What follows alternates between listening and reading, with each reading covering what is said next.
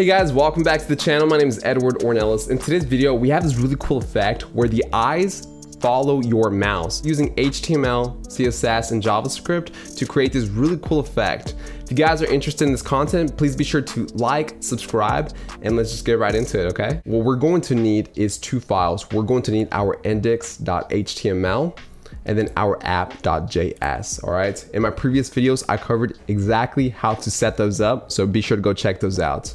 But inside of our HTML, we're going to need to connect that app.js using our script tags, which I have right here, which is the app.js, and then the script. Also, as you can see, I already have my window live open over here on the right side. So any changes that we make, we'll be able to see in real time, okay? Afterwards, we're also going to need two photos.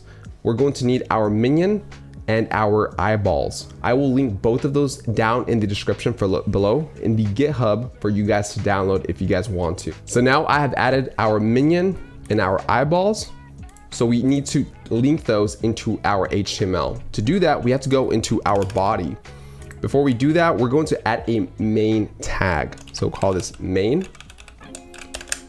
And then that's where we're going to do all of our editing and adding all of our elements inside of this, inside of the main tag.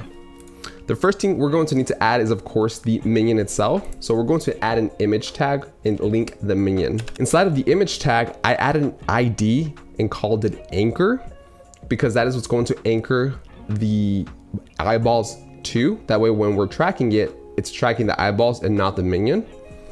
And below that, we're also going to add a div Inside of this div, we're going to give it an ID of eyes. So that's where we're going to put our eyes inside of. So it's going to be eyes with an S. And inside of that, we can now link our eyes. Since our minion has two eyes, we're going to add the eyes twice because it is just one single uh, PNG of an eye. So all we have to do is just add two images to duplicate that essentially. As you can see though, the eyes are at the very far bottom, so we're going to have to correct that. First, we're going to need to style our image over here. So to do that, we're just going to add a styles tag on top of the header, or the head, I'm sorry. We're going to give our body a background image and color of white. And on top of that, also give a padding of zero and a margin of zero as well. So just like that. And below our padding, we're also going to style our main tags that we have down here. And we're going to center the minion in the middle by what we did in our last video, which is essentially giving a display of grid and placing items in the center. We're also going to give it a minimum height of 100, meaning the, the height of your display. So if you're, you're on a smaller phone, it'll give it full size. If you're on a bigger one, it'll you know, make sure to adjust for that. And then we're also going to give it a position of relative, okay? Once we're done with that, all we have to do now is to style our eyes. And to do that, we're going to add both of our classes, the eyes and eyes image, and give it a position of absolute. As you can see now, it adjusted the eyes and made them just a little bit bigger, right? So now they're sitting on top of the anchor, which is the minion, and the eyes will now be able to move individually from the uh, other image as well. So as you guys can see, we have to adjust our eyeball position.